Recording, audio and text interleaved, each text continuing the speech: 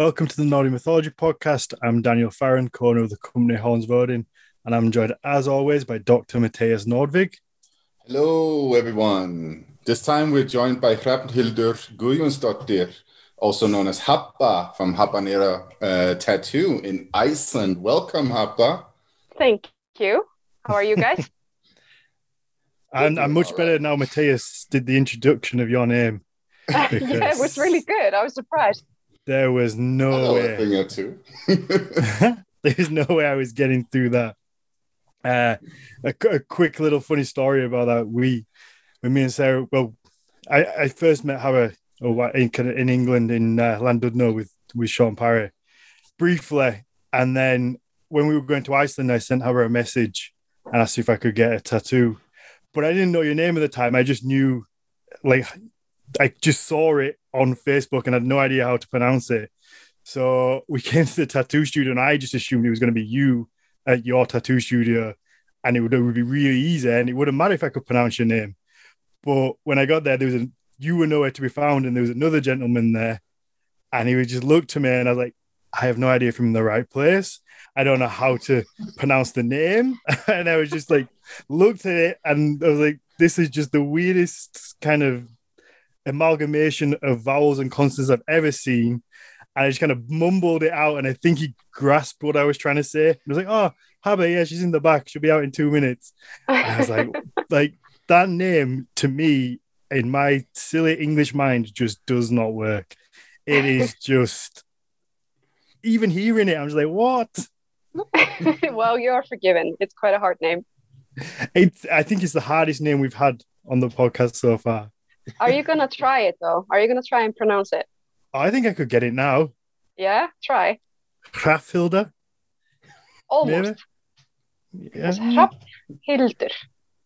Oh, it's, just, it's like the second roll there. There's no way I'm getting that. I'm just going to give up now. If you if you're like quite slow at it, uh, like Sean does, then it's Hrafhildur. Yeah, I think once I'd heard it, I kind of was like, okay, I can see that now. But before I'd heard it pronounced, I was just, I I couldn't even guess.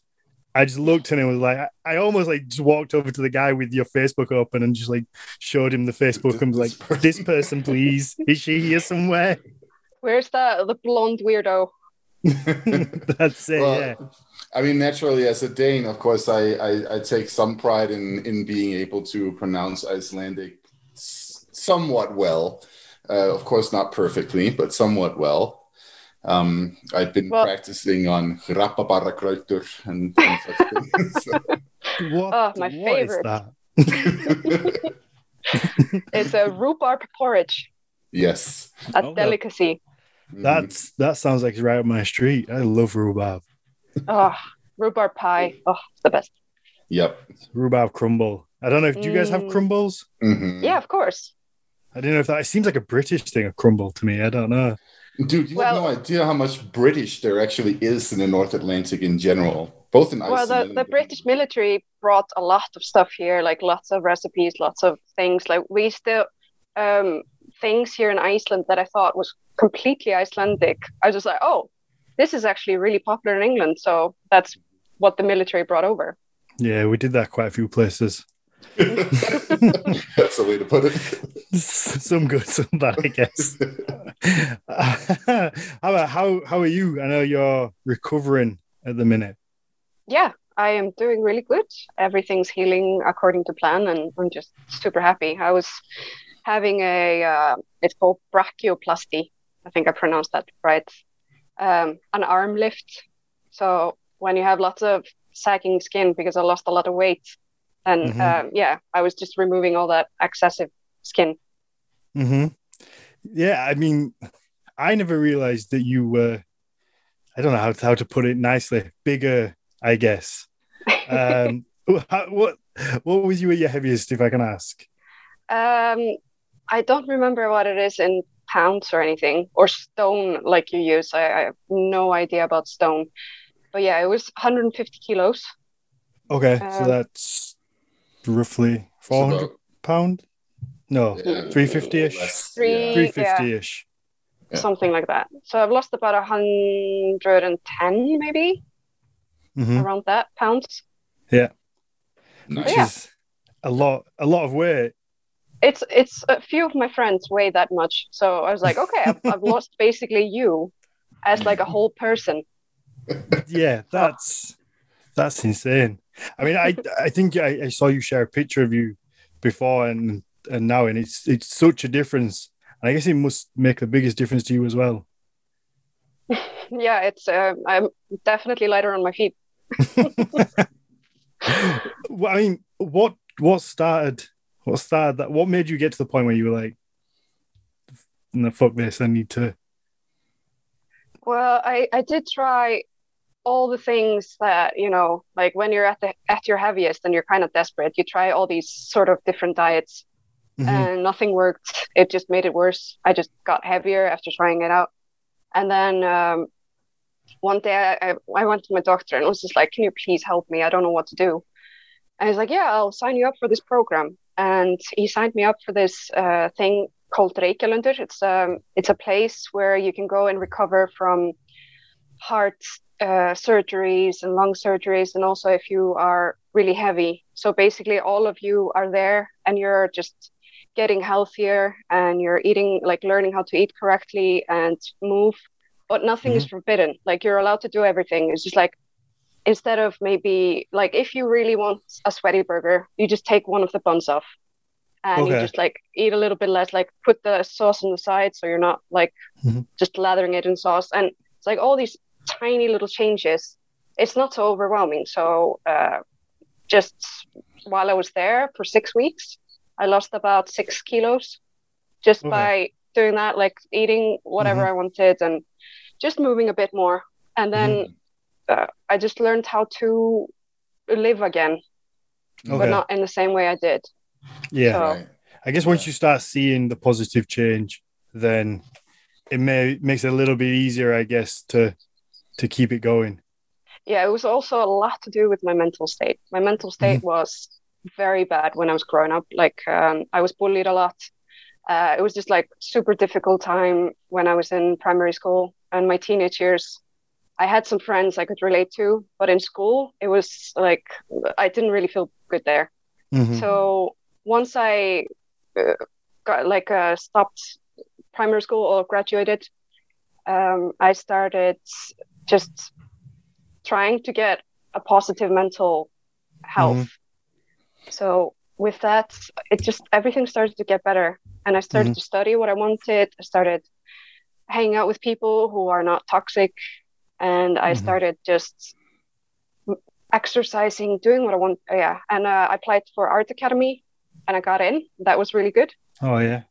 And uh, yeah, during that time, I was at my heaviest, and like uh, then the year I spent in the art academy, I I lost so much weight, Mhm. and I was just so happy doing what I love, Yeah. and finally getting my hands on, you know, like studying something I have a lot of passion for. It changed Mm-hmm. a lot for me. Oh no, that, that's that's amazing to hear. I think it, even though that you know, I wanted to speak about this with you because I know it's not strictly kind of Nordic mythology based. It's it's so inspirational to people, um, because it can be so hard when you get stuck in that cycle of just eating, and you you know you think eating something's going to make you feel better, and momentarily it does, and then straight away after you're like, fuck, I shouldn't have eaten that, and you can't take it back unless you're going to be sick, and then it's like but it's it's just this horrible cycle. Um, so it's so I, I find it so refreshing when you see people manage to break it because it is such a hard thing. You know, I'm going a bit over lockdown. I've, I've put on maybe I don't know, maybe like ten kilos. It's not like a, huge like life changing amount of weight, but it's it's enough that I've noticed. And I've gone, "Ah, you know, I need to do something about it. So me and Sarah are going on like a nine week strict diet tomorrow. Actually, Oh, well done. uh, so we're just gonna do we're gonna do that, um, and it's just I'm looking forward to. I'm looking forward to like getting back into that routine because I'm starting to look how Mathias sounds, which is. Uh, if you, uh, I don't know if you have seen. I don't know if you saw one of the one of the people commented that um, Mathias sounds like a heavier set gentleman. That was one of the, our comments that we got on YouTube, which uh, I'm never going to let him live down. I well, don't to know the where listeners, he's very handsome lad. So yeah. I don't I don't know where where he comes from. Like I don't know how you can sound that way, but I'm Hey, never hey, letting you go get away with you it. know, you know, so to, just to like, you know, uh, fit the role, I just had two ice cream sandwiches before I went on. So yeah, I'm I'm working on it. I'm going in the other Yeah. Absolutely. I think I, I I didn't know that um I guess I guess Iceland offered something like that where you could go away for for six weeks. 'Cause I, I can never imagine them them doing something like that in England. I've never heard of it. I think over here the answer is either you do it yourself or you they uh, maybe like a gastric band they might offer. Um, yeah. but even with that, it's not changing somebody's mental, you know, their mental outlook. They're not changing their habits. There's so many people who will get a gastric band and then just because even though you you know you cut the stomach down to a quarter of its size, after a year, if you keep eating, the stomach just expands back and and you go back to where you were. So it's not a long term fix. Whereas I think Iceland have probably got it spot on with changing people's mental attitude and helping with that rather than just cutting your stomach up and going like, oh Yeah, yeah, well, there you go. Can't eat as much now. That is one of the options after this program. So Mhm. um, if you go through this program and you complete it, uh, you can apply to have your gastric band or whatever they do uh, free of charge. But it's very hard to get into this program. It's like um, a, a long waiting list, and so people who really desperately want to just do it right now, they have to pay for it themselves. Okay. But yeah, it was an option, and they told us all at the end of the course that it was like, okay, you can you can choose to have the surgery, or you can choose to not have the surgery. And I decided like, okay, since this is mostly about mental mental work and and trying to figure everything out yourself anyway, then uh, I just uh, I decided like, okay, I'm just gonna try it myself Mhm. before I, I do life changing surgery. And um, yeah, so for me it worked, but for some other people it might not work and they feel like they have to do the surgery, which is fine as well. Oh, ab- absolutely. But I think having that that that program in place to start with that's going to help at least change your mindset and because then there's habits it's you know if, if your habit is to reach for for food every time you're sad then that's not having surgery isn't going to ch- break those habits they need to be snapped as well i guess Exactly.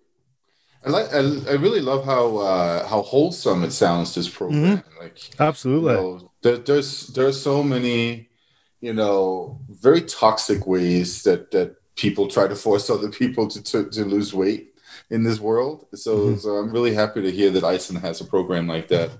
I uh, I I feel a little like you, Dan. I, I'm not sure I, uh, that that Denmark uh, would offer something similar. They'll just be like, get that plastic band, Mhm. that's it. You know, so like, yeah it, does, it definitely sounds like they've got it spot on yeah. i mean over in england they'd probably just put you on a reality tv show and get some people to shout at you we've all seen them Oh, can you do like a Little Britain where they eat dust? Yeah.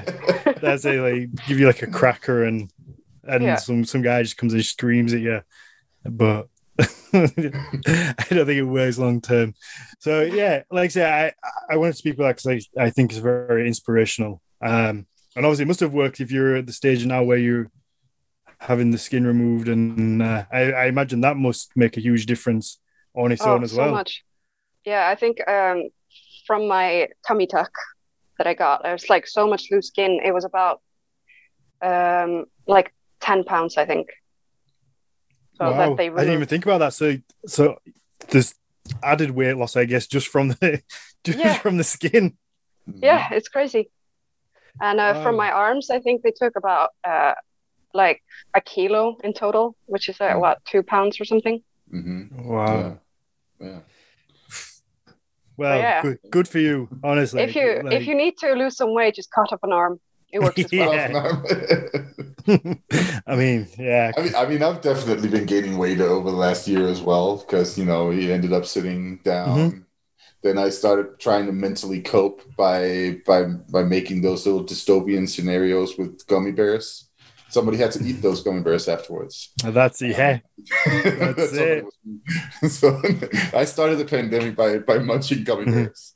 definitely No, yeah, it's it's been it's, it's been a tough time. Like I'm glad that now gyms are back open because for me, I've always been active and severing that bond with the gym that I had, which you know I have a I have a stressful job running a business, and the gym was always a, a big release.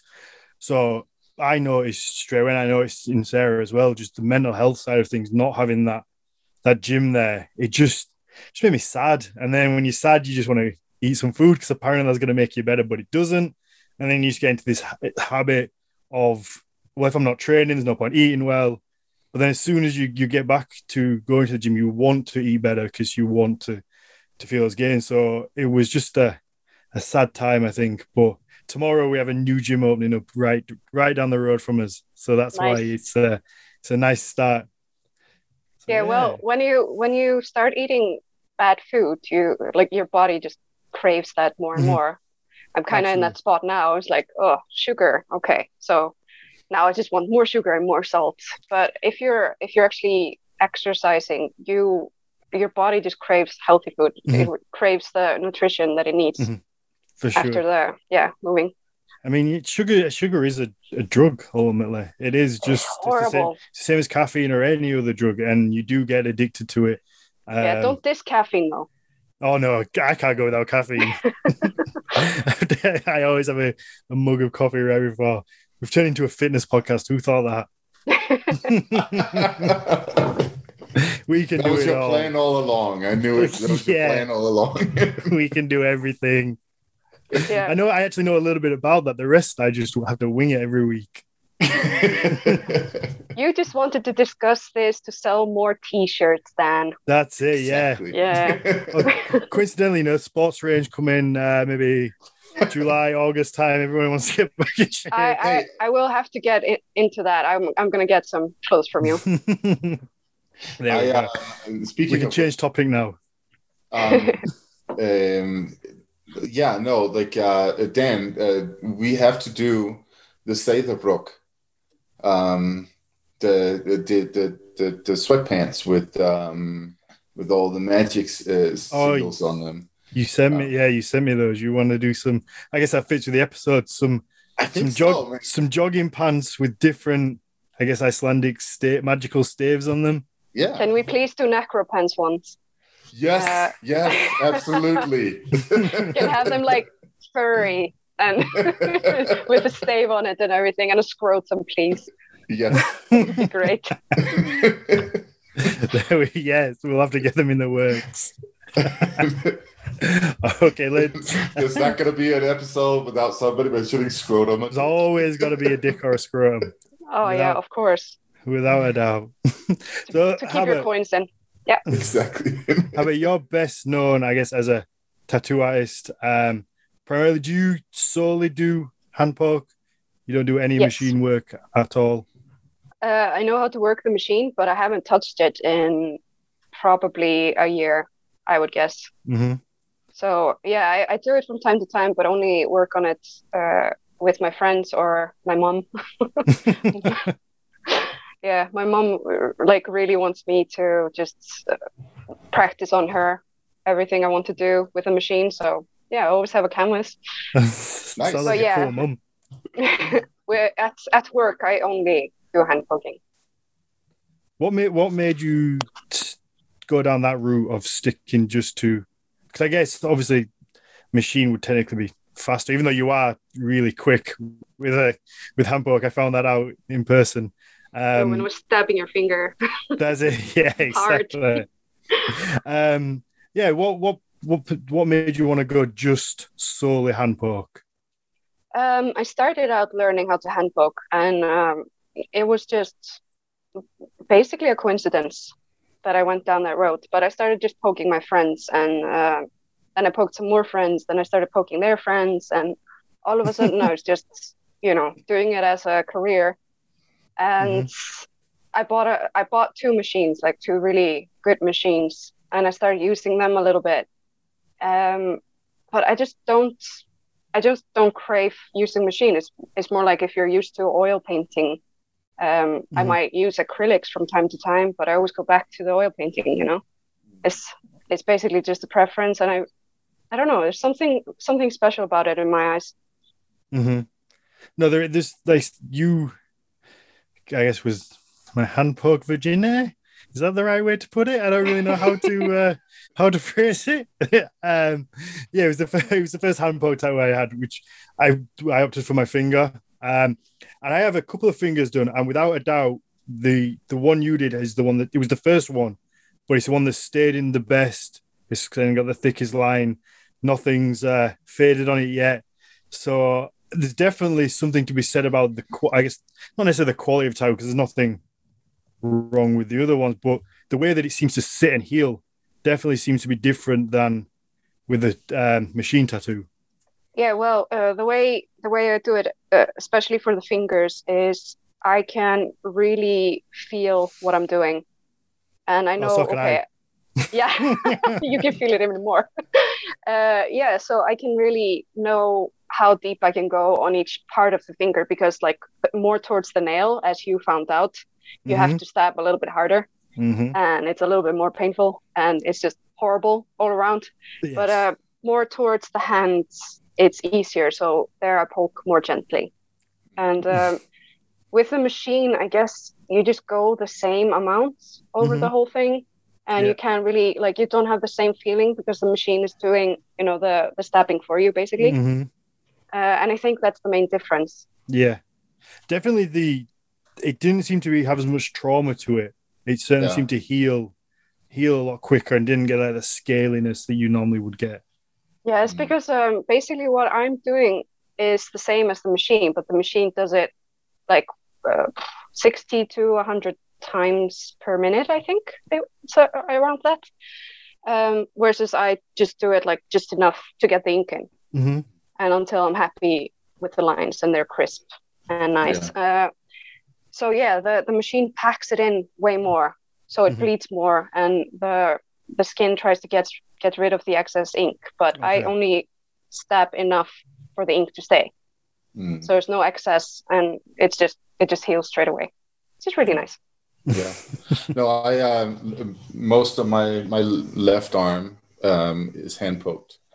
Um, and uh, By whom? No, um, Uffe Bernd. oh nice Yeah, Um, and um, yeah, no, I really no- noticed the difference between the machine and, and the hand poke. It was it was healing much faster and, and it was much more pleasant, so to speak, afterwards. but during Oh, yeah. during the session, at some point I just got so fucking annoyed by the feeling of, It's- of it's the, the- needle going in. It's like yeah, it's the plucking feeling. yeah.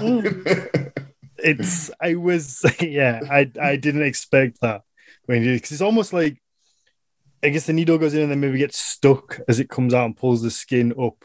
Uh, yeah you right? you do it on purpose Oh, so- oh, I thought it was an accident. I didn't know you were doing it on purpose. No, you kind of like aim aim the needle so it uh like plucks the skin a little bit. So you like ankle it a little bit when you go out, and that makes the dots crispier.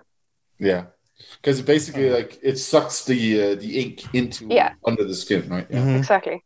Yeah. Like kind of flings it in there.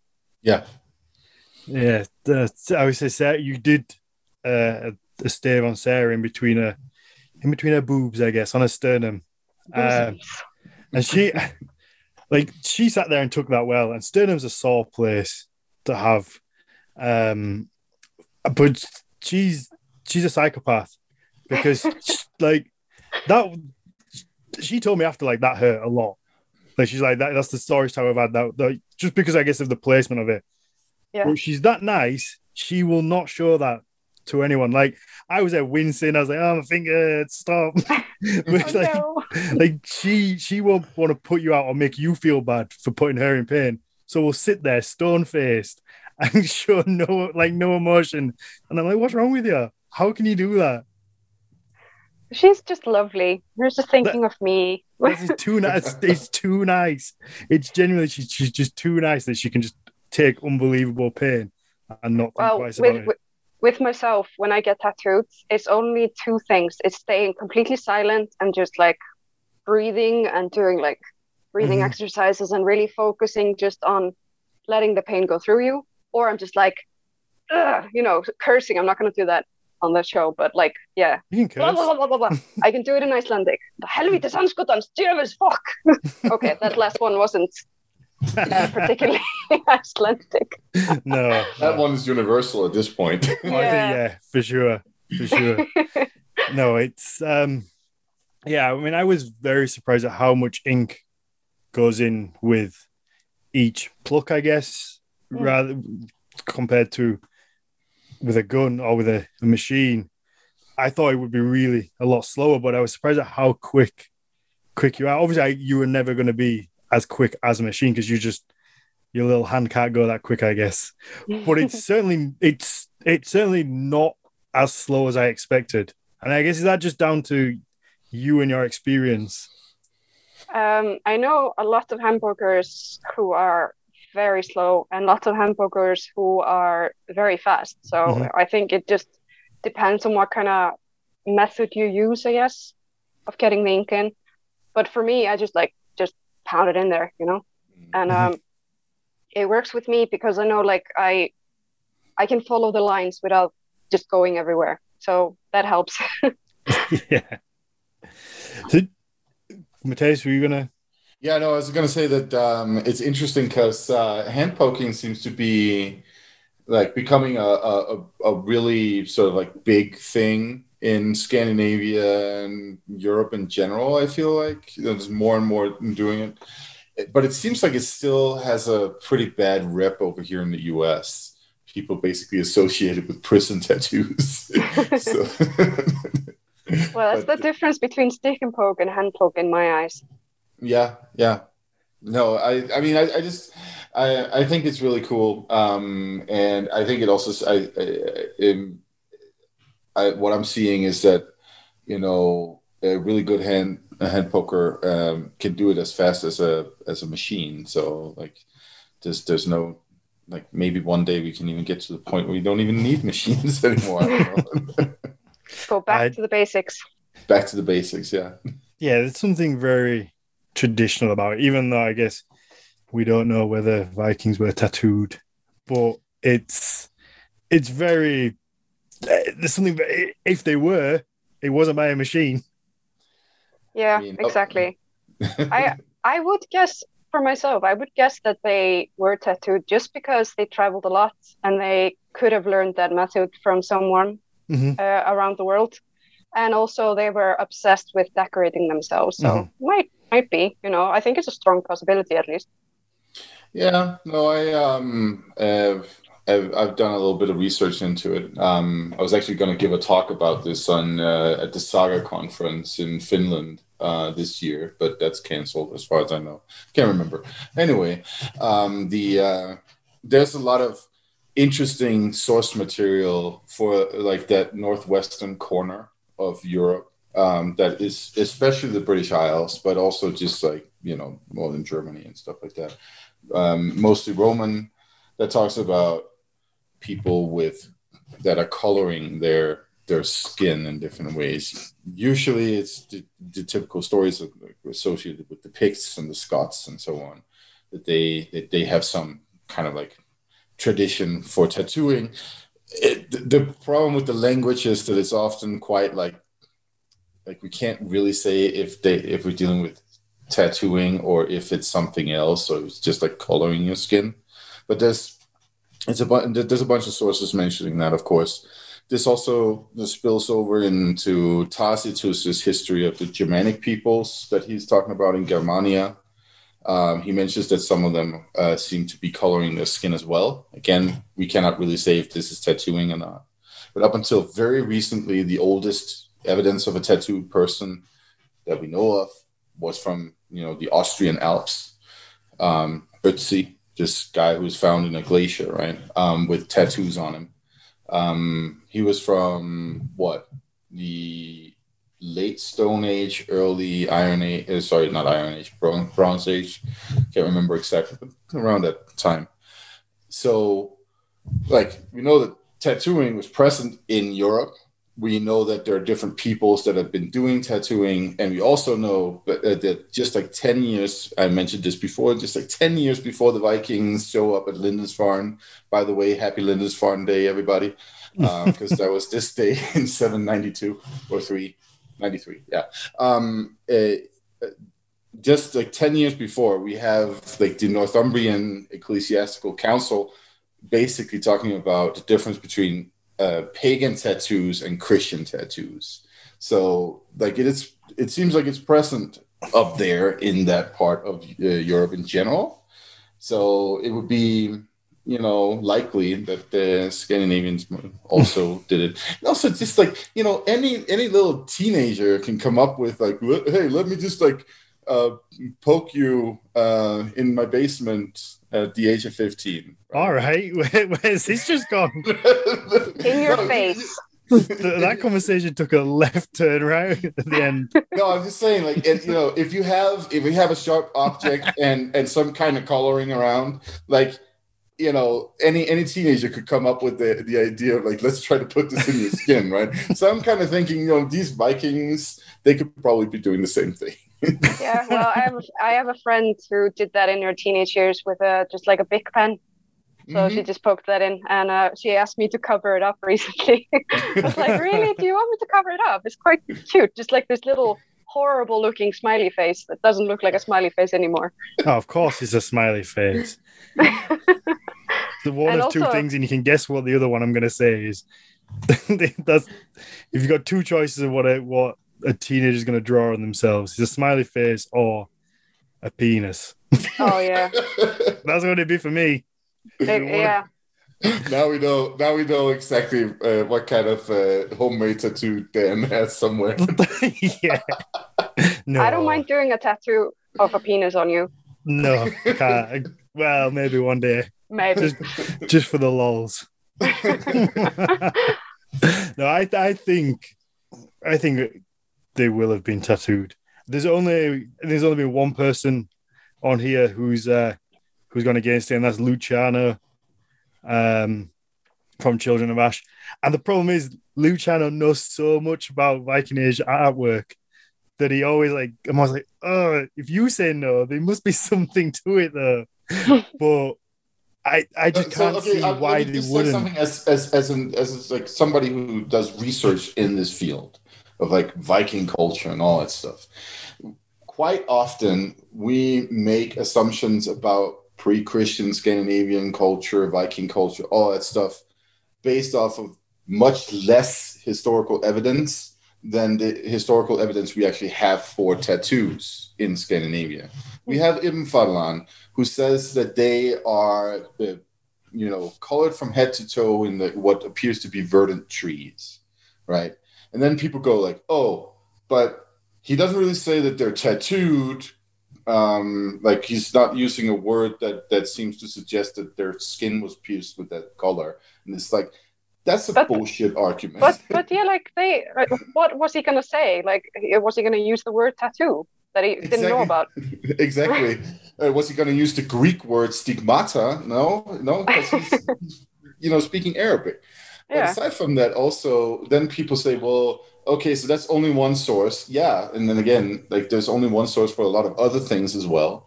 And and thirdly, people then say, oh, but we don't even know if they were really Scandinavians or something like that. And I'm like, that's also a bullshit argument because you can see structurally and everything else that he tells us about what these people are doing, especially that chieftain's burial, that they're fucking Scandinavians. mm. so, so it's, it's like it, it, I, I would say that largely that you know it, it falls uh, on uh, you know either side of the fence of like do i like the idea of, of, whether or not these people were tattooed that's really where it goes right so well, how, uh, like dan being from britain uh, you have lots of coal workers mm-hmm. and they're all like decorated in cuts you know like black cuts because they they they get a like um what's the word for it?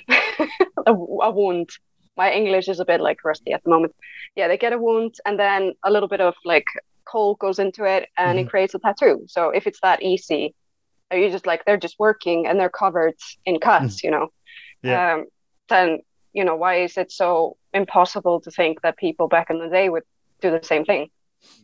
I no, I, I, agree. They will have done, sure. I mean, actually, uh, cool. Uh, my, scary.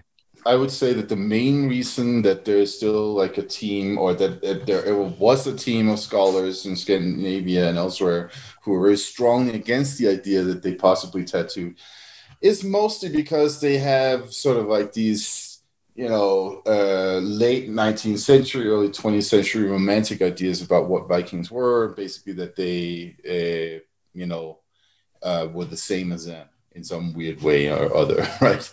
So it's all about contemporary nation building and and building ideas about your ancient history and all that stuff mm-hmm. more than anything else.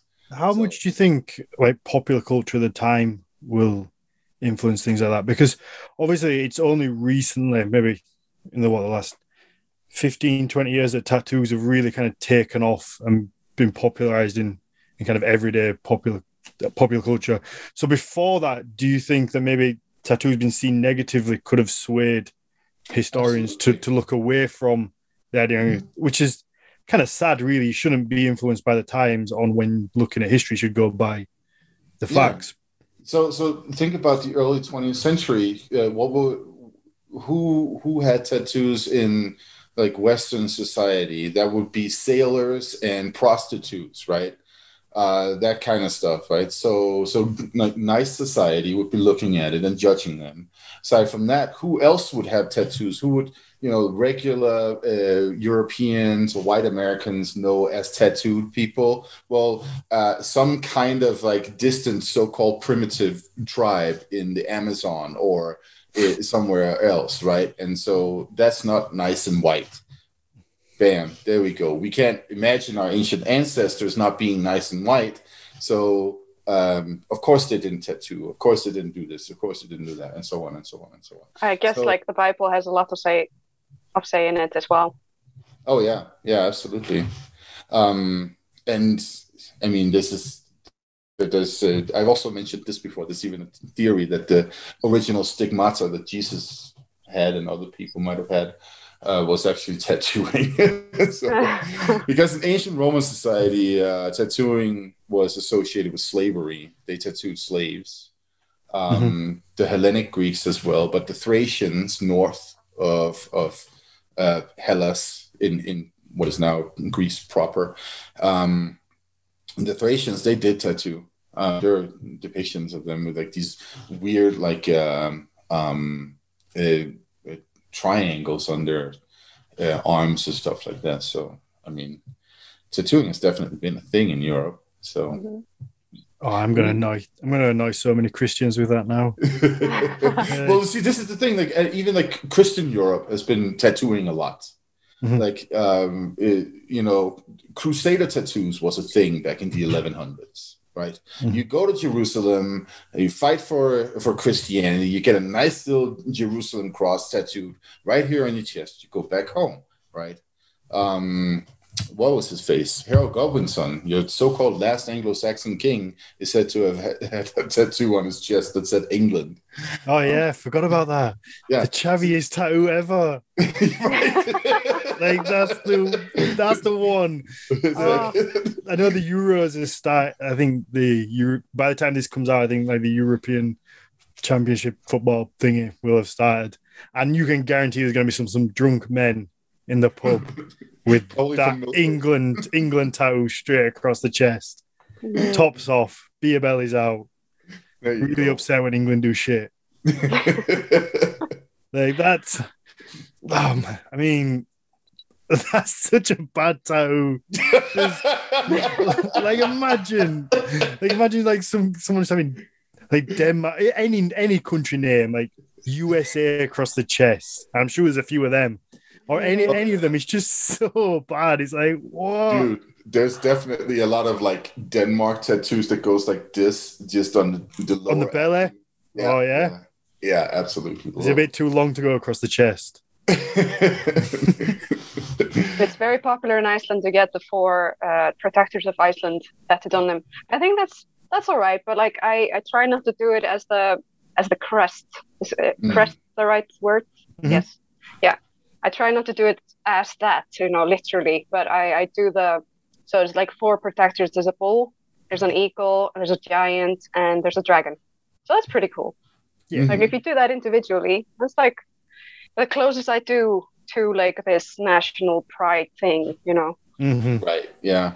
Yeah, I think it's just England's just an odd one. Like, I wonder if that's true. I'd love to know whether Harold Godwinson had that, like, just had England across the chest.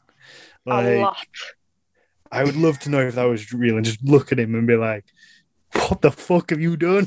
Why have you got that? you must have been drunk because that's ridiculous." Uh, there's so many people with their own uh, own country's name tattooed on them. It's just Mhm. yeah, well, like do what you want, man. That's fine. Just yeah, I don't have to like it, but do what you want. No, absolutely not. I mean, I'm not anti-patriotic, but I'm also not like super patriotic to to like that kind of level. I'm like, I was just born on this patch of earth. Like, it means very little to me. Like, I wanted to, I wanted to, th- I guess I wanted to thrive and to be nice to other people, but I'm not gonna be like, ooh, England's the best because Well, England being nice has like that ship has sailed a long time ago. oh yeah, for sure, for sure. You know, we we're trying to be nice now, Willis. I think. Yeah, trying. Yeah, it's except like kicking people out now that I've lived there for years. Just pretty bad. Yeah. Yeah. We're, we're not the best. I don't think any. To be fair, though, I don't think any country is perfect. Definitely not. I think every uh, every country has their dark side and uh, does bad things. It's not just us, honestly. no, no, kick, kick the ball to the Dutch or Yeah. well, the Danes. We're we suck pretty much too. So they're- they're I think we are. They all do. yeah, Iceland is pretty bad with some parts. yeah, like we There all uh, like Denmark has started um, uh, uh, basically expelling its own citizens now. So, so there's that. Wow. Yeah, because of like these weird, you know, rules about um, how attached you are to the country and those kinds of things. So there's like this case right now where this guy, he's Danish guy, he's married to a Filipino woman. They have a child together. The Filipino woman didn't get permanent residency, and the child is too young to meet the standard uh, for you know, being sort of naturally attached to the country, which is like seven years. So the, the Oh, yeah yeah yeah. So immigration is like yeah. So you better just go to the Philippines and have family family relations. Like oh oh, so we're straight up Nazis now. Thanks. it's Fuck so. assholes. Like what the fuck. It's just so archaic, isn't it? It's just so weird. Weird that that's It's some uh, fascist bullshit. Like- what it is. like imagine being born in a country and just living there. I mean, even you know, especially in, in the USA, you get people who who are even even if you even if your parents snuck over and you were born ille- quote unquote illegally, and you lived there for till you were 15, and then they're like, oh no, you're not really American. Fuck Oh. off. It's It's Well, like that's the- what? that's the like cool thing about you don't know anything else. If you're born in America, you are a citizen here. So Oh, that's the cool thing about that. But that's not the same in Denmark. Like uh, yeah, in it should have that. Yeah, in Denmark, if you're born in Denmark um, to foreign parents, you are not not naturally a citizen. Yeah, So- it's messed up. hmm They're kind of kicking out immigrants here who are seeking asylum and just like sending them out uh, to die, basically. And people are outraged. And every time somebody's being sent away, and they're like, okay, I will be killed if I go back to that country. Um, people protest and they, they are outraged. And then they're like, okay, fine, you can stay. Uh, but it's kind of annoying that we have to do that every single time somebody's being kicked out to, to die Mm. like people have to be outraged every single time just change the policy let people live you know Yeah. Mhm. At least they're listening to you. That that's not the same in Denmark. I- i don't know if they're listening it's just like uh, they just can't do anything else people are too mad about it they're like Mhm. trying to be reelected Ugh. so yeah Hmm. Yeah, I mean, governments only ever listen when they want your votes. Other than that, they're not. Yep. They're not too bothered. Um, so now we've got all serious. Let's move on to Icelandic staves, and you two can tell us what's what's real, what's not, what's good, what's bad, what's Oh, dear. ridiculous. Probably upset a lot of people who've got tattoos. well, um, I think most of the staves are actually ridiculous. Like Okay, literally there we ridiculous. go. Like the the descriptions on how you're meant to apply them and how you're meant to use them is ridiculous. If you've if you learned anything about staves, then yeah, most of them are not super cool. You know, it's the same as with people who always expect their own spirit animal to be like an eagle or a wolf, but it's actually a caterpillar. It's the same with the staves. you kind of use it just like, oh yeah, use this to make a horse lame, or use this as, uh, yeah, to. what was I? I? I had found a stave here that was just. Well, let's talk about something else while I search for this. I mean, I, So- I just want to show you this one. Speaking Oh. ridiculous staves. Okay, oh, I so love this, this one. so this is it, it's it's kind of got the arms of the helm of Awe, but Yeah. more of them, and they're not particularly straight. And then a smiley face in the middle, but it's not. It's kind of like an angry snowman face. yeah. So It's got a carrot for a nose. Like this one here to see a thief. Wait, where is the camera? Yeah. Yeah, so He's like so angry. there seems to be. let's let's let's start at the beginning. Um, what is a stave? Like let's let's try and have some structure to it. I get it either. Um, how about Mathias? Is it, or, or what's the difference with like an Icelandic stave to a normal stave? Is there a difference? What's what's a stave? All right. Um, okay, so Here, Mathias, you can Yeah. you can take this. I'll I'll start with some history on this. So so the staves, as as we know them, um, start appearing in Galdrabækur, so these uh, um, spell books uh, that are being collected in the 1500s, um, because uh, uh, what we're basically seeing is an increasing worry uh, about witchcraft in all of Europe. Right, that's what leads to the Burning Age in the 1600s. So, so this is happening in Iceland too, where we're um, we, we, we see these uh, books cropping up, um, and mostly as a way to recognize if somebody is a witch, right? Because if you they have these like um, uh, around, then then it's got to be because they're doing dark magic and all that stuff. Um, that's that's why that's why we have access to them today, right? That that's how they have ended up in books in the first place. Now, um, what were they before? Well, um, they were part of a common European, um, uh, mainly um Christian um, with Jewish uh, influence, of course, a type of magic that um, that had developed over centuries, if not millennia, and um, and at some point entered Northern Europe with uh, learned individuals of various kinds interested in um, the the types of magic that were circulating back in the medieval period. And keep in mind, in the medieval period, there is a difference between uh, uh, magic. Like so, there is some magic that you can do that is considered acceptable. Um, and divination can, for instance, be an acceptable type of magic because basically what, what you're just fi- finding out is sort of like God's plan anyway.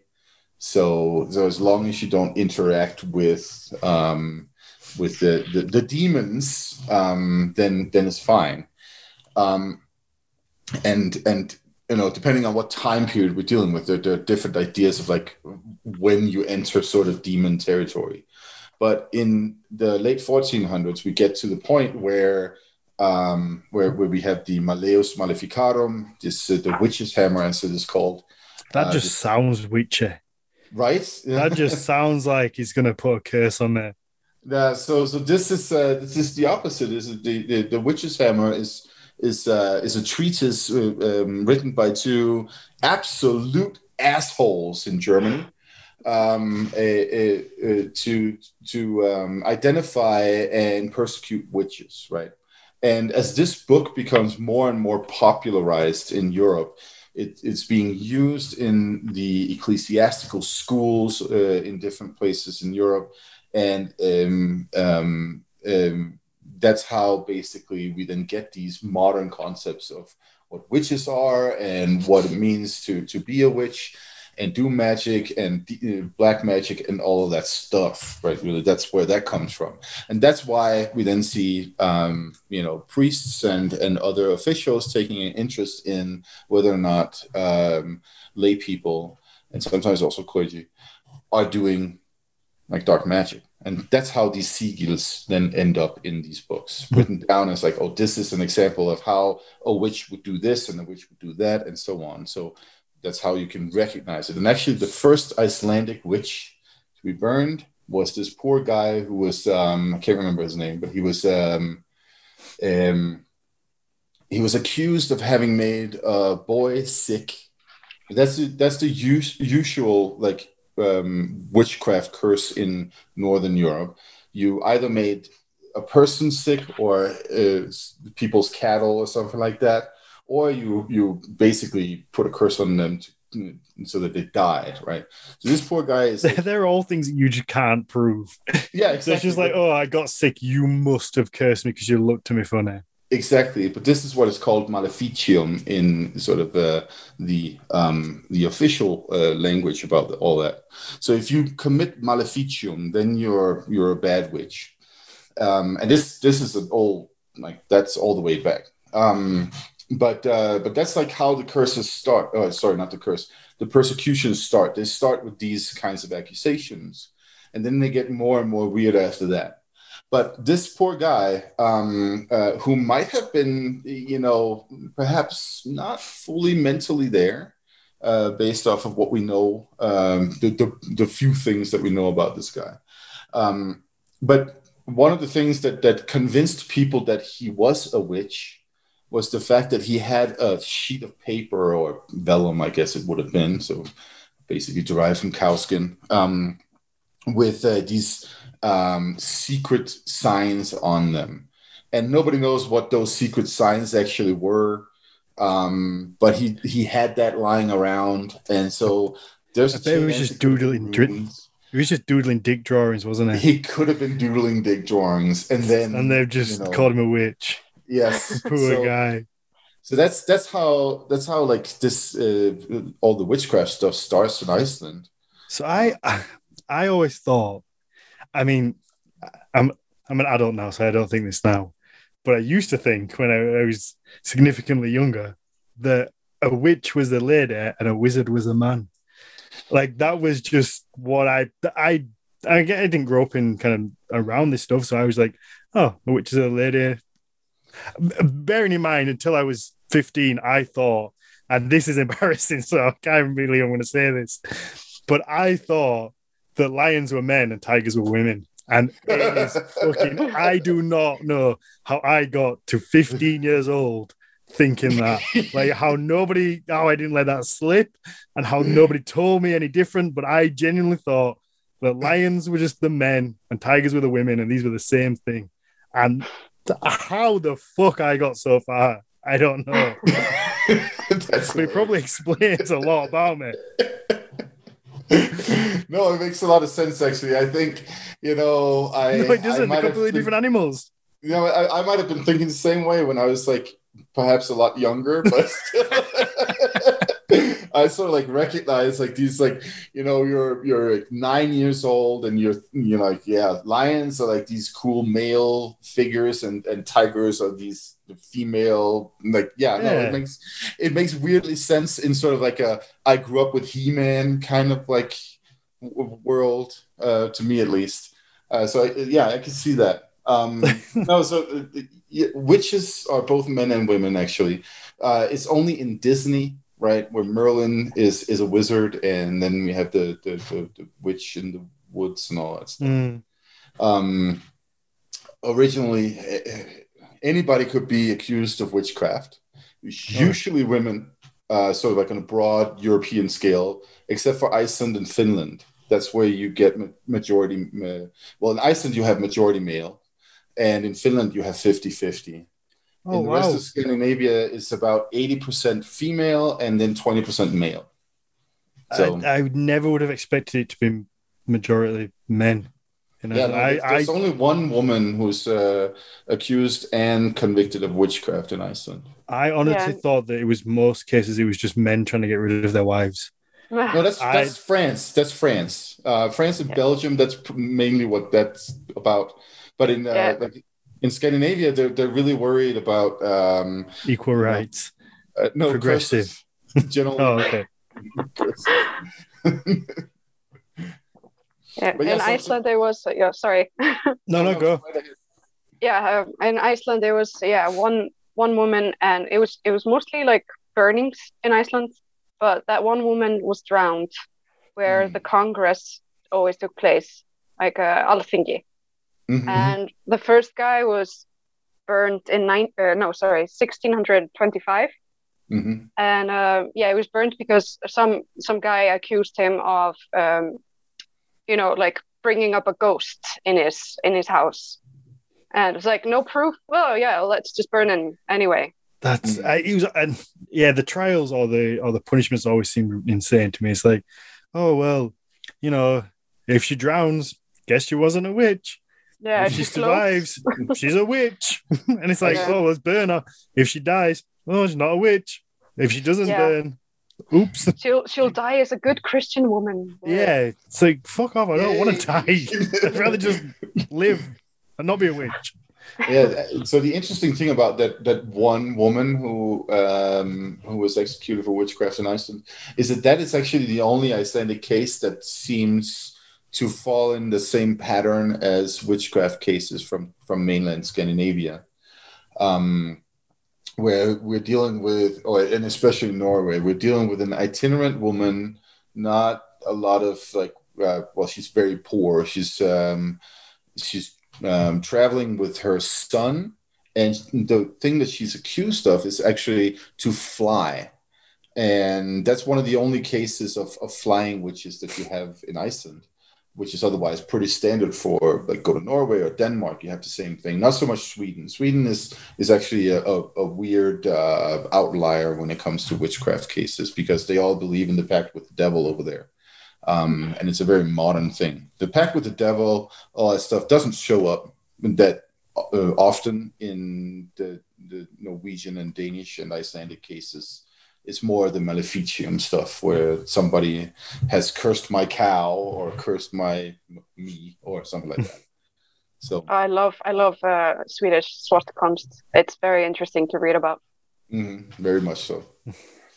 Okay, so back to back to staves. Yeah. So the staves, right? So it sounds almost like a stave is almost like a, I guess a sigil. Mhm. You would. So I guess the, the the the first question is: Do they link back to the Viking Age? Seeing as we are like a No. Viking Age kind of podcast. Ish. but we No. talk about whatever whatever happened. No, it's not strictly Viking Age. It's it's modern stuff as well. But so, at what point do you you I guess you both said no? You know they mm. don't link back to the Viking Age. So, at what point do we get these things becoming Viking Age? I guess in modern culture, because if you ask, eh, we, the, Helm of Awe and the Vegvísir are the two that are the the most common. But Shannon's going to pull up a a page in a, in a minute that that shows all these different sigils and staves. They've all been attributed in some way to the Viking Age, whether it's Odin or you know Odin's way to get people to sleep and all these different things. So it, it seems like the two have become so intermeshed that where where did that happen? Where did it become one and the same? Because most people who, who you know don't leave the listen to the podcast or have the opportunity to speak to amazing people like you two, just Google stuff and it comes up and they go, okay, that must be from the Viking Age, because they don't know any any any different. Mm.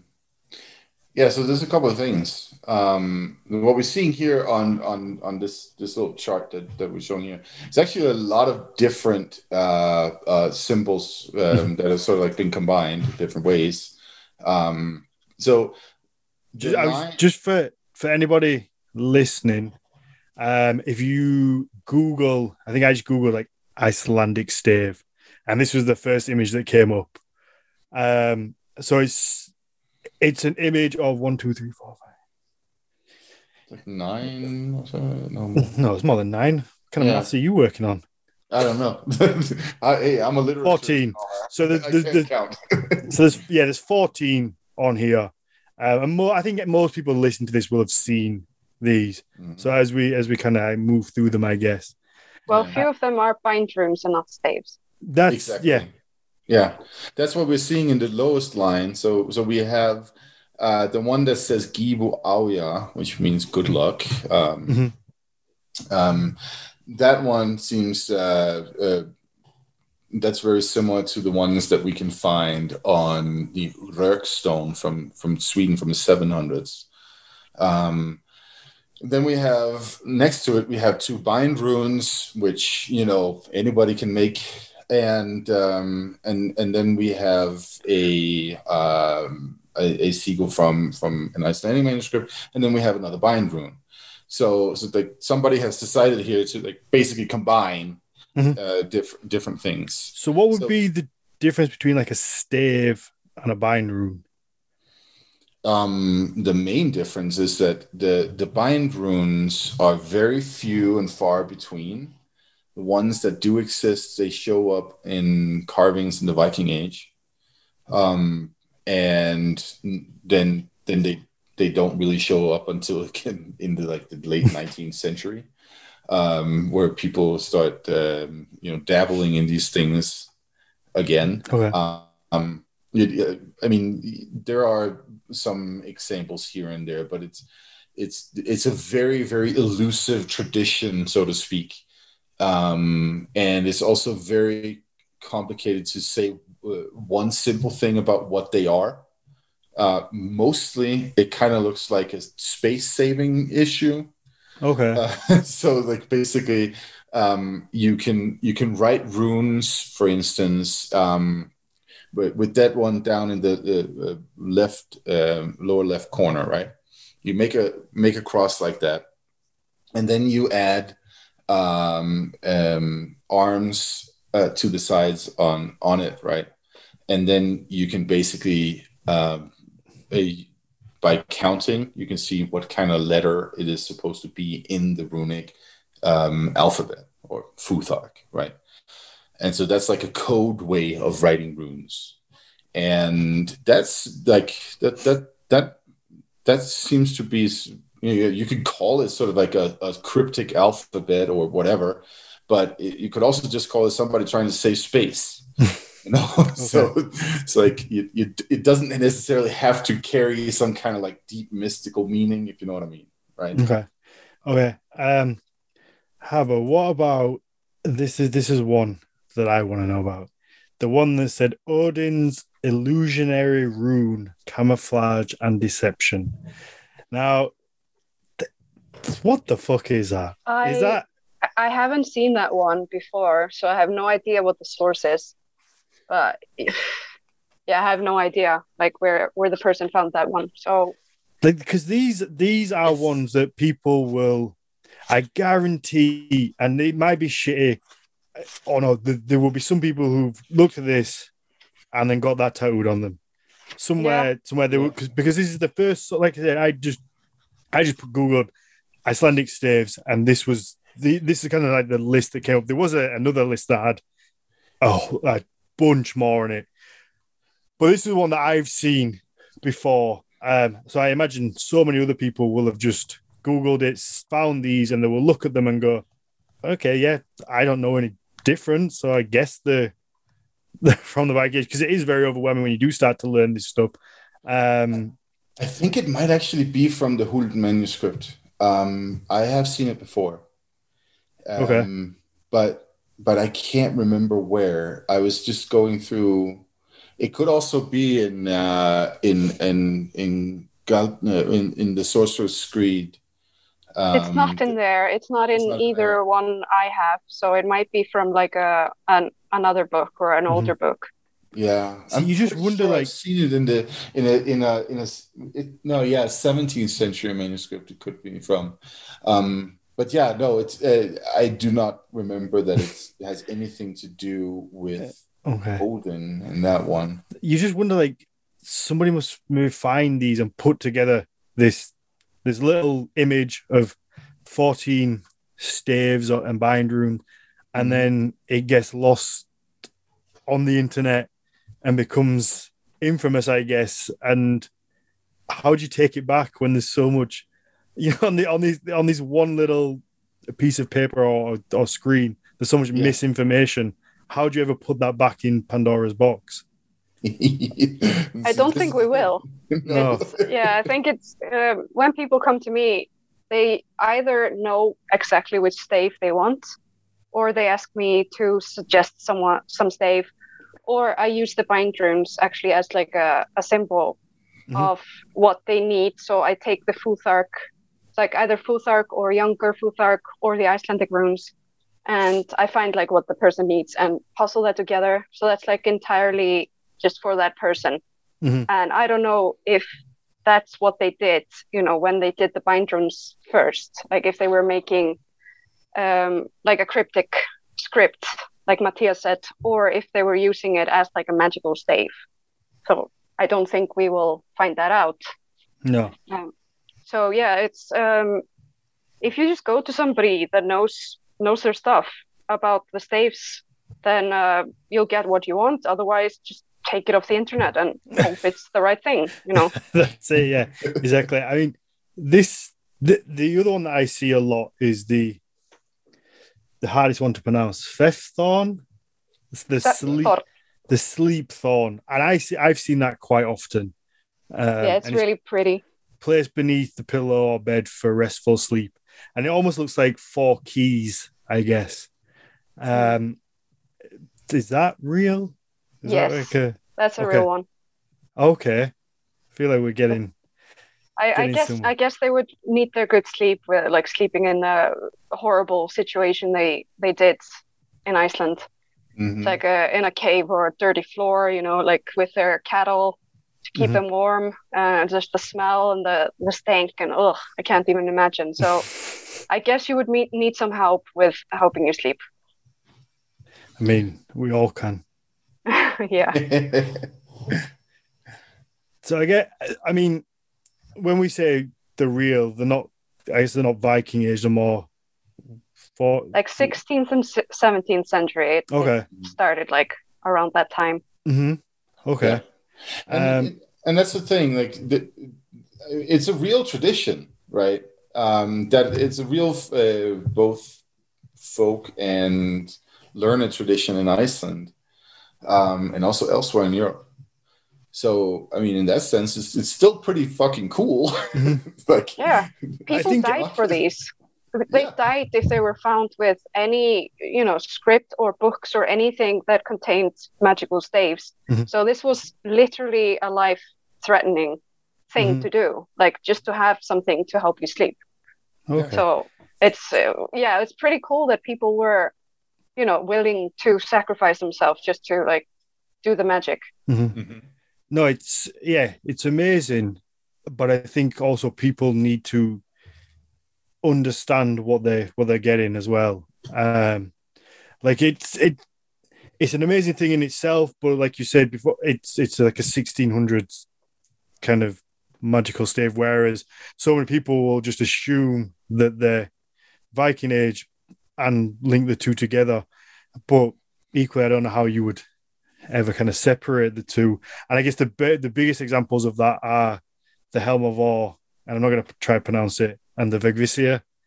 Um, like those two are so iconic now with the with the Viking Age, but also the not quite Viking symbols, I guess.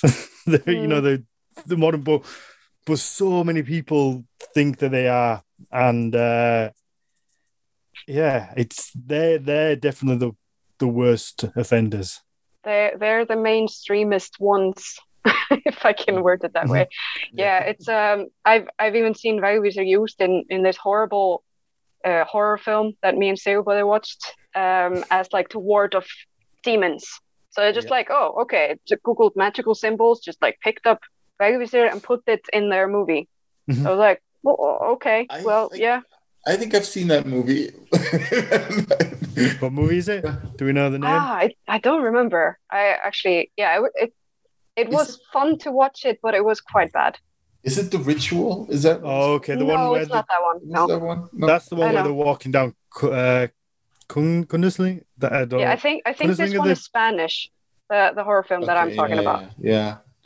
Okay. I think of Spanish horror films. Not that I know Yeah. many. Oh, they they they can be really really good. Yeah. Yeah. Yeah. I know Rec. Rec's probably the only Spanish one that I, I think. Spanish is Rec Spanish? Hmm. I think. It, yeah, I, th- I think it was. could be. I don't remember. Maybe. Um, yeah. So those those two, I think we've spoke about it. Spoke about them both ad nauseum on the podcast before. Um, Yeah.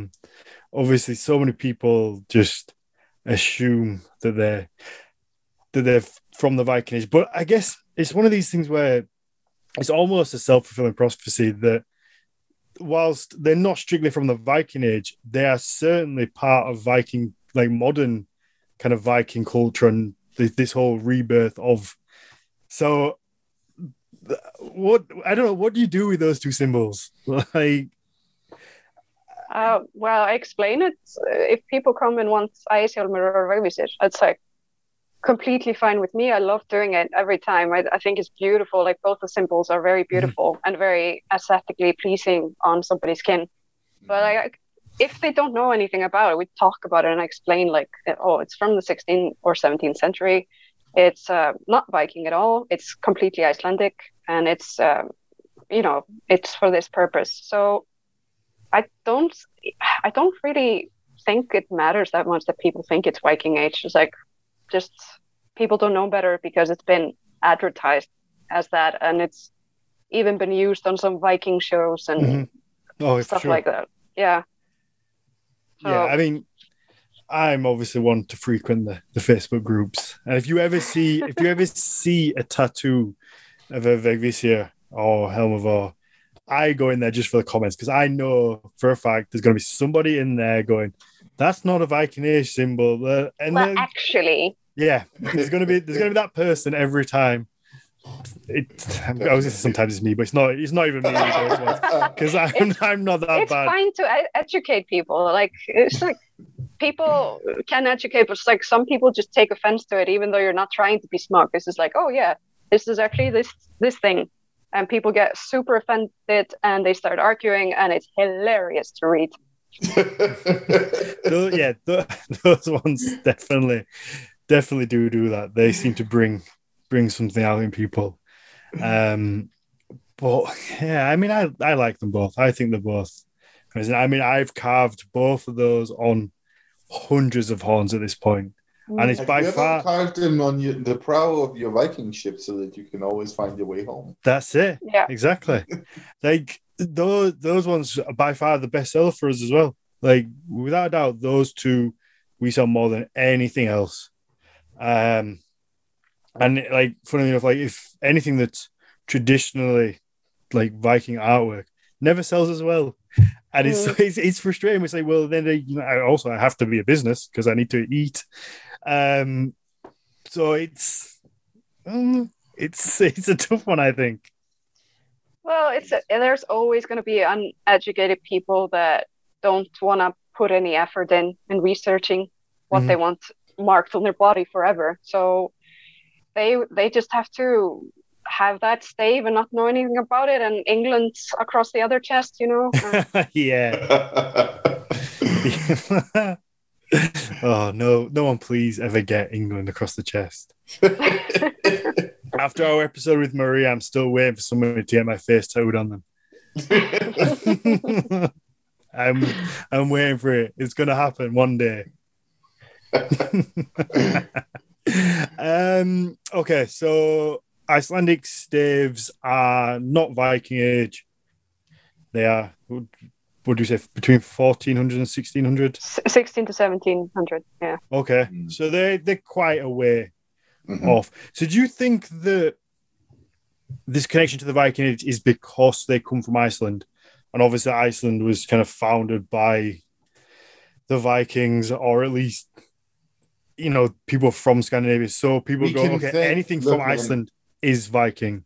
we can thank the Icelandic tourist industry for all of that. I'm sure. Yeah, yeah. I mean, And mean, Björk as well. yeah, yeah, of course. Yeah. the Icelandic tourist um, machine is good.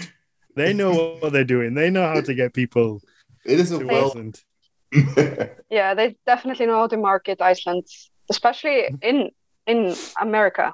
It's like uh, I get I get so many Americans walking in to the studio and asking for you know some symbols and stuff. So, oh, there's a lot of Americans coming here, and they're mostly like very polite.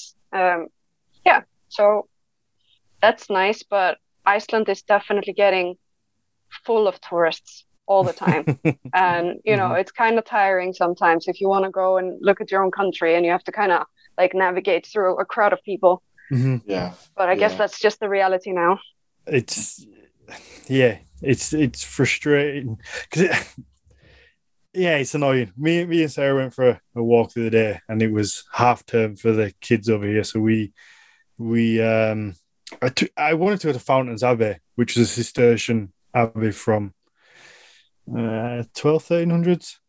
Um, it's a really beautiful place, but apparently, even though it's outside, they only allow so many people in because of COVID, which Hmm. is fucking ridiculous because it's outside. So we went down the road to a place called Binham Rocks. Um, it's this really cool, like natural stones, I guess, that have been eroded over time. And there must have been three times the amount of people that were up the road where they wouldn't let us in. But this was an open open air one, so no one really judged it.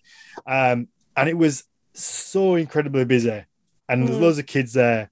And I was away walking around, I'm like, fucking there's all these people here and all these kids. crazy But I'm like, but I'm here, so I can't really complain because I'm here walking around. I'm one of these idiots.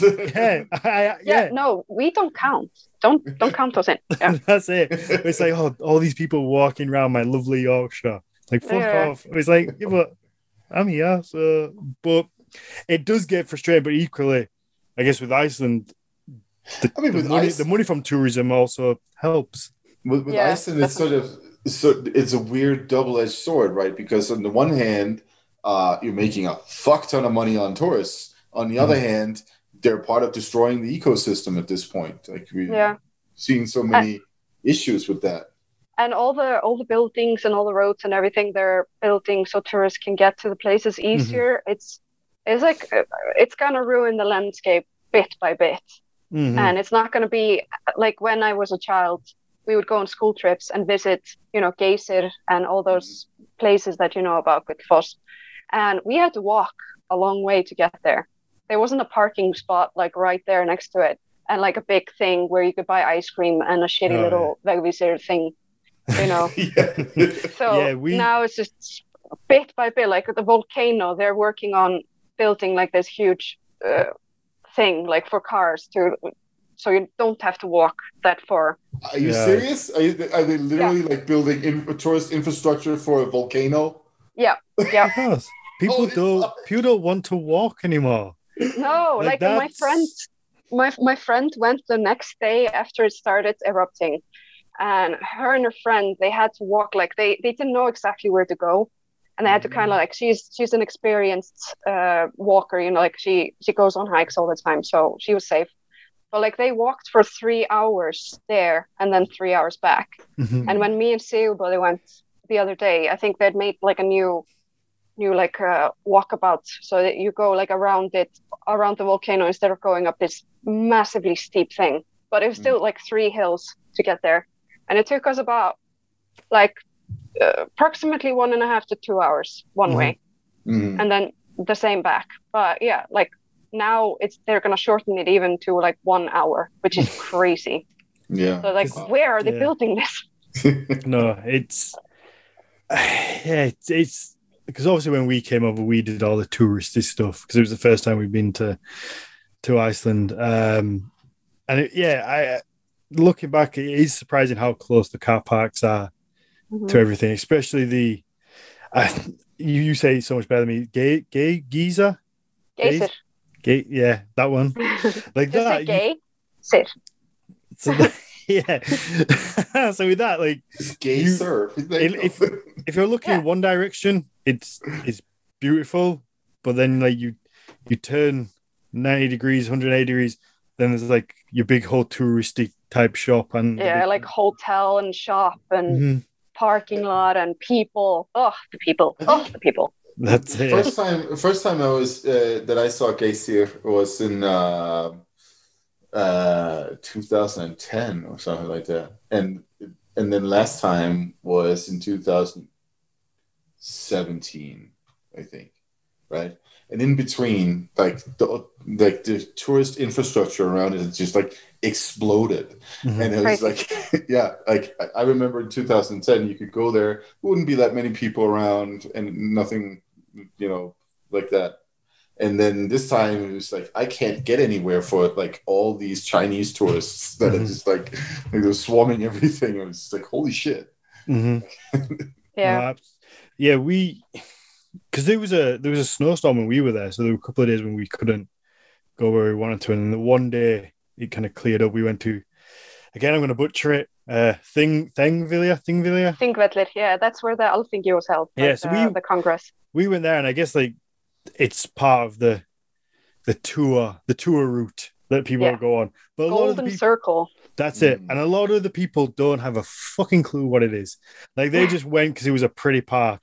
And then Yeah. there's me, like a little kid, going, "Now, oh my god! Like this is the fucking the rock. This is the stone. Like like the little thing." And everyone's just walking past, and I'm like, "How Here can you appre- appreciate this stone?" Like, Yeah. and, um, and there, there's actually the the little um healer as we call it that where the witch was drowned so Mhm.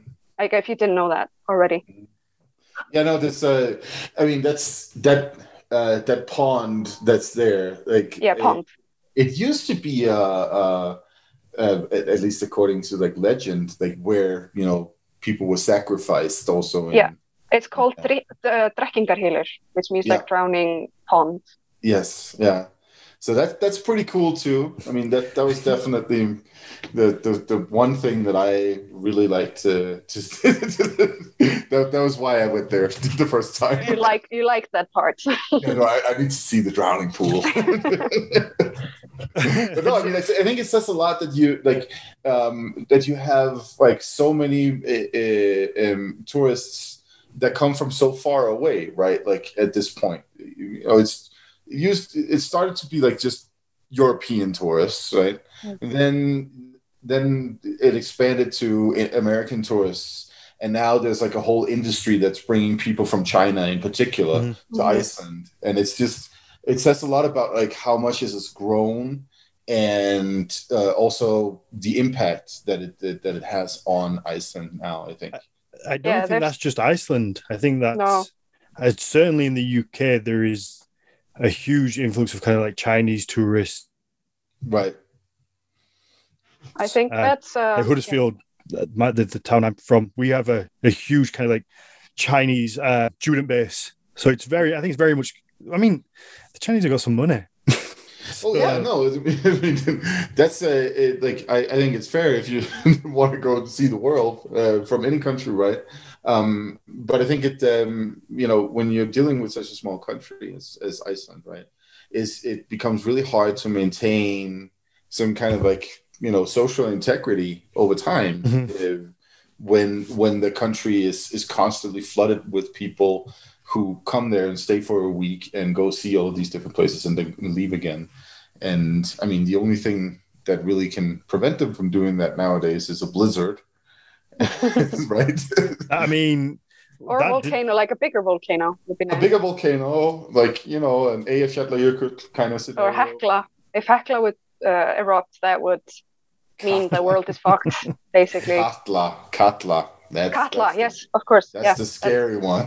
that's I what I meant yeah. I was gonna say bl- the blizzard didn't keep too many people away when I was there. We Yeah, well, we you go. set off to try and have a look, and then we were like, ah, you can't go down. No, I mean the road system in Iceland is fantastic.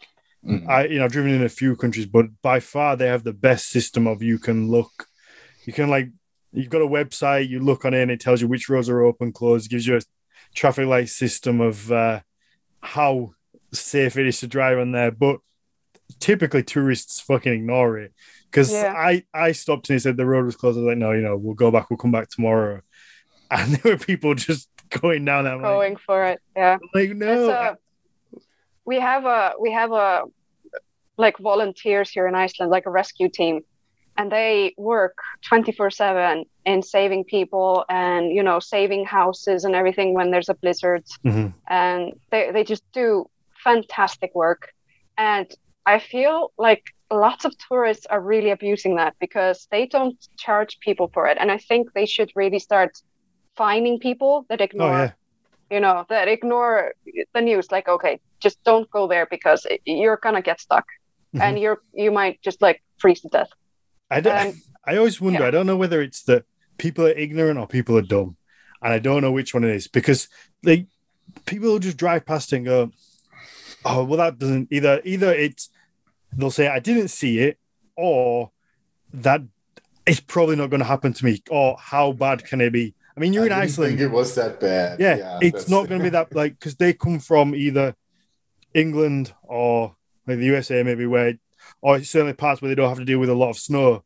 But I've never seen snow like it. When we were there, you I know they were struggling to land. Um, we weren't sure whether we were going to be able to land because they, they were talking about showing the airports with the with the snow.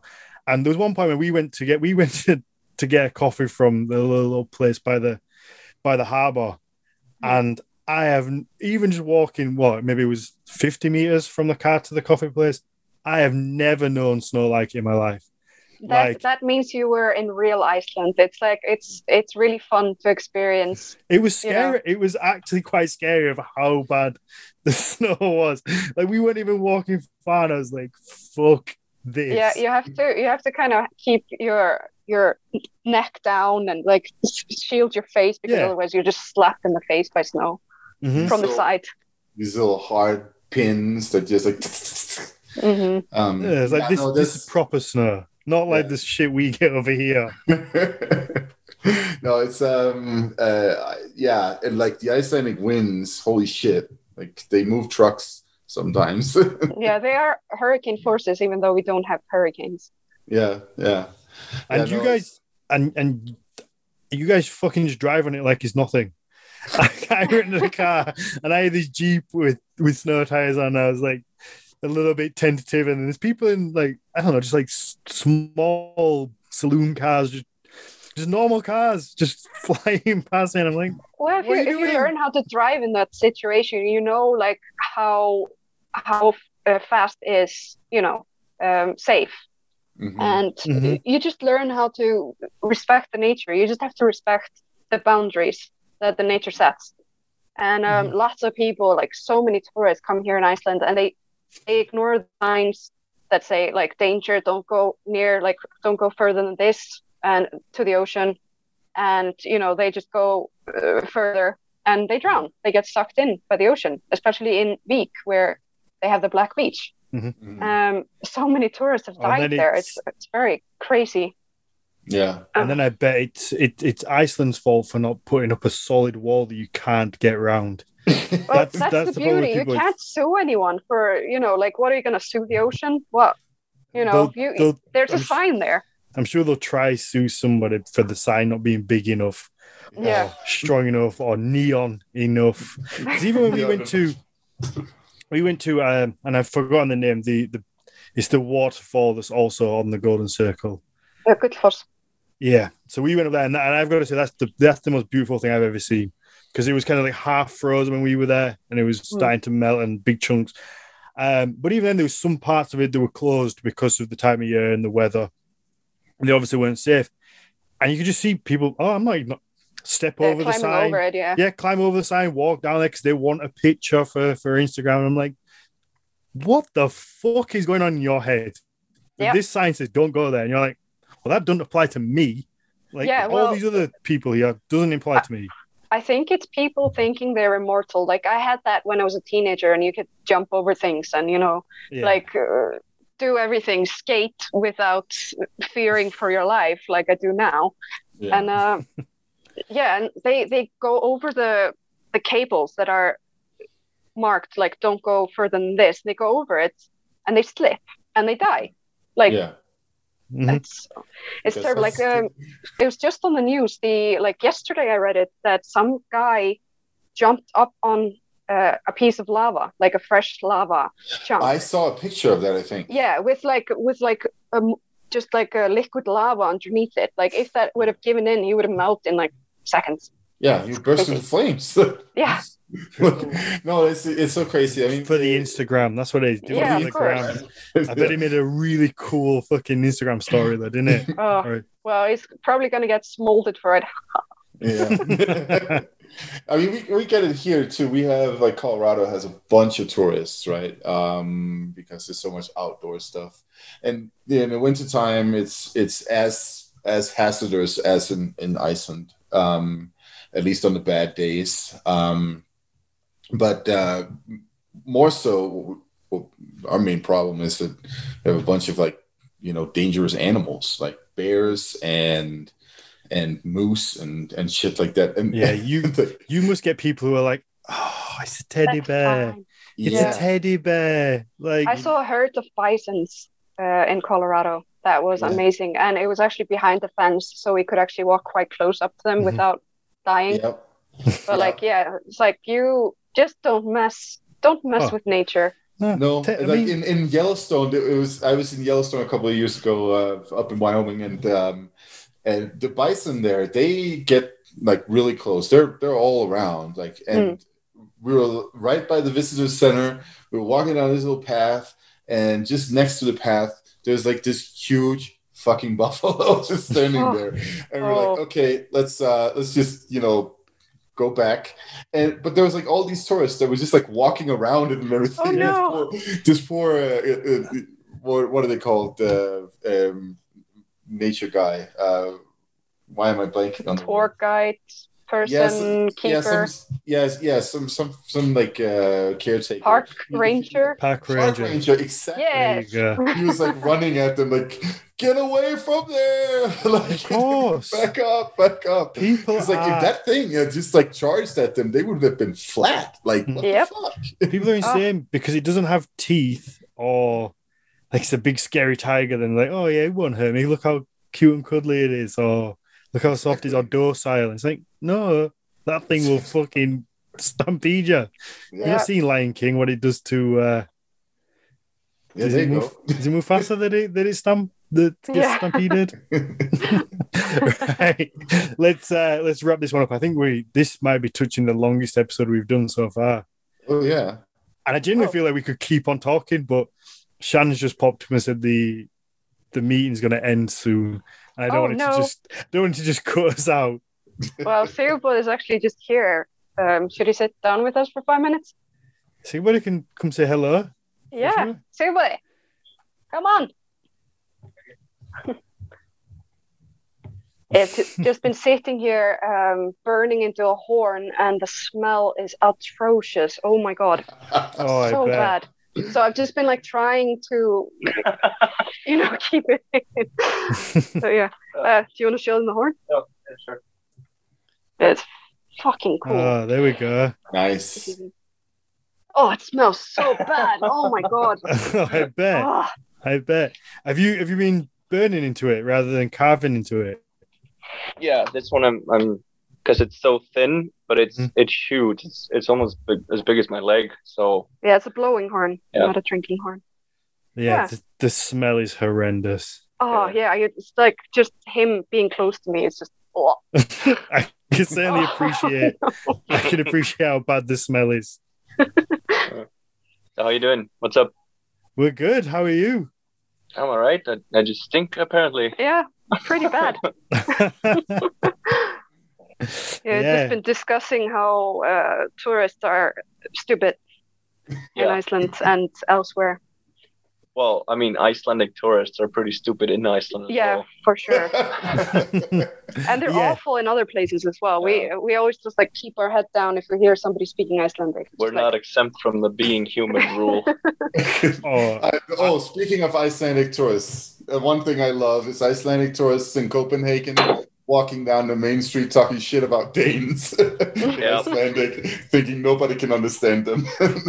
Yeah, it's happened quite often. I, I'm guilty of this because uh, me and my friend were discussing some very, very private matters in a bar somewhere like underneath a bridge in England.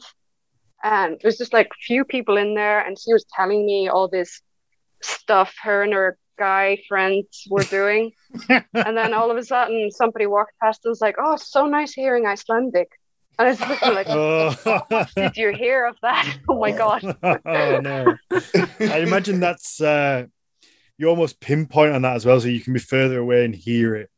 Because I know if, if I'm ever anywhere and you hear somebody speaking English, you kind of hone in on it, and you can hear it from even further away. Um, I mean, I don't think there's pretended any. not to hear anything, so that was pretty nice of him. I don't think there's any tourists worse than the English. I mean, we fucking suck. I don't know about necessarily in Iceland, but especially in like the Mediterranean countries or kind of like around Spain, Portugal, the Canary Islands, those kind of places, you're getting the people with the England tattoo on the chest, and they are they don't give a shit about Oh, anything. They're The getting hen parties. Oh my god. the hen doos, the stag doos, the Oh. the dudes that are just getting drunk, shitting on the floor, just at just Shitting on just- the floor. man, it's just it happens. It is just unreal. Like it's English tourists. I, th- I mean, not all English tourists are bad, but I think there's these certain places in in Europe that are nice and sunny, where they go and it's cheap alcohol, and they just ruin the place. I think it's just a certain type of person. It's like it's Mhm. in, in every country. They just Yeah. they are just terrible. We actually have a sign in a town called Stykkishólmur here, where it's like a guy pooping and just like a, a, a crossover, like no pooping Yeah, sign. there used to be Hmm. plenty of people just taking a shit wherever they wanted. Yeah. Imagine how there.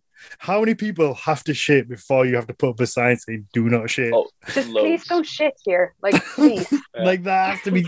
There has to be we so actually- many people.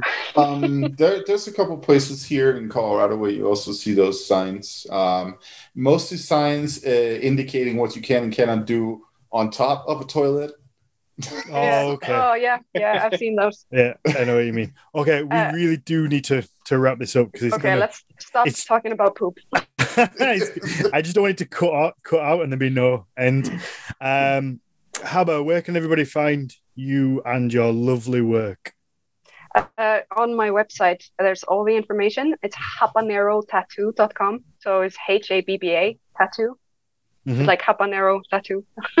and yeah, it's like you can go to all my platforms for there. I I mostly use Instagram.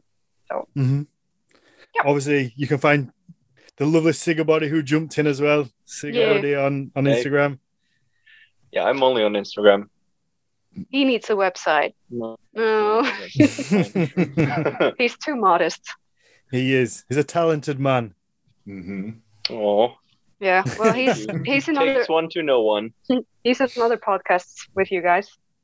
Absolutely. Anytime. Sigabody's welcome by anytime. Yeah. Um, Mathias, where can everybody find you?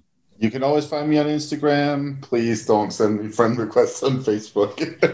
Which means friend request him on Yeah, Facebook. no, it's fine. Friend request me on Facebook. Have you Aside from that, I have to plug my my new research book, uh, Okay. Volcanoes in Old Norse Mythology, um, a myth and environment in early Iceland. It's my research book.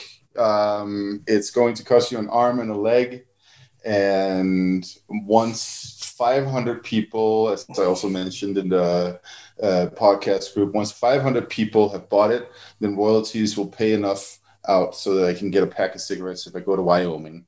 And this Nice. is a big deal. There you go. yes, There you go. taxes are lower up there. So everybody, everybody buy it. Where can people get it? uh, you can get it if you search Amsterdam University Press and Volcanoes in Old Norse Mythology. Or Wow, Art you really want nobody to buy this, don't you? Oh hell yeah! Um, okay, well, you could have you could at least come with a. We'll, you know what? We'll put in the show notes. I'll get a link off Mathias. We'll put in the show notes. We'll uh, we'll make sure people can can find it. I'm gonna try and quickly do our stuff before it just cuts out and the episode ends. Uh, if, if you enjoy if you enjoy the show, please leave us a five star rating, and a positive review. Uh, I think we're on like 193. Um, I think we've had like two bad ones. from shitty people. It's not too bad, you know. We're on four point eight percent, so we're doing we're doing all right. Um, yeah, so let's try and push it to two hundred. That would be nice. Um, also, you can find us on Facebook, Instagram, or our web- websites, all just at Nordic Mythology Podcast. Um, oh, we have a new Facebook group where we just seems to just Talk be a shit. group talking shit about me. To be honest, like, I just seem to take a lot of heat on there. um, so yeah, just that's literally just Nordic like fun- Mythology Podcast. yeah, it's Nordic Mythology Podcast uh, Facebook group. We will accept you if you can pass the secret questions, um, and it's just good fun. It's one of the it's one of the uh, good Facebook groups left, I guess, before it gets ruined by other people, which I'm sure it will do at some point. Um, yeah. Oh, we're pushing the YouTube. So if you enjoy the show, please pop over to the YouTube channel, Nordic Mythology Podcast. Hit subscribe. Uh, we're going to start putting a bunch of sort of three, four minute videos on there. Some nice short clips, and I think that's it. I think we're uh, we're good to go. Nice. Habba, thank you very much. Sigabody, thank you for for jumping on for the last few minutes. Oh, yeah, sure. Yeah, thank you for having us. It's uh well, I actually I have a question for Mathias. Uh, are you coming to Iceland? True. I'm, uh, I hope so. If uh, American immigration will let me travel at some point. Are the legends true? Well, there's plenty of American tourists here Yeah. already. Yes, yes, but it's immigration stuff. So bring a book. Oh, right. Yeah, but like, were you were you planning on doing some lectures, or you're just gonna come over? Um, there's the Norse mythology uh, conference that's happening in Reykjavik. Oh, great. When is that? Uh, late November, right? It's like November 25th, 27th. Oh, okay. That's So yeah, way in the future. You're gonna, uh, in the future. Yes. you're gonna tell them to stop using the word Norse. oh Yeah, I was gonna say. what I'm gonna Getting. Stop saying Norse. Norse. when you when you go to do your speech, that should just be it. That's it, and just just walk out. Yeah, no, I mean, I uh, I am scheduled to give a talk at that conference, um, but um, there might be a slight immigration issue, uh, so we'll see about that. If if if you're going to Iceland in November, then I'm going to come to Iceland in November. Mhm, Yes, please come. mhm. We'll have a party. So Yes. so so you want people to stop saying Norse and start saying Nordic? Is it, so want- so horse would be Hordic. Yes, exactly. yeah, let's let's go for that. Here. Oh. well, apparently the uh, the episode didn't explode when it went past our allotted time, so nice. we we don't need to worry. Okay. Perfect. All right, let's uh let's wrap it. We we're gonna go and record our Vikings watch along show that we do every week, which we put on, which is for our patrons.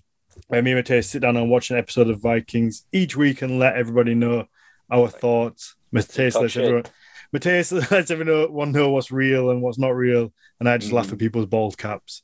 That's pretty much the theme so far. it's it's working. It's good fun. So if you want to if you want to watch that, please just pause on any level on Patreon. You get access to that, um, and we record it straight after the main show every week. And that's it. That's the show. Perfect. Awesome. All right. Awesome. Thank you very much. Thank you. Thank you. It was really fun.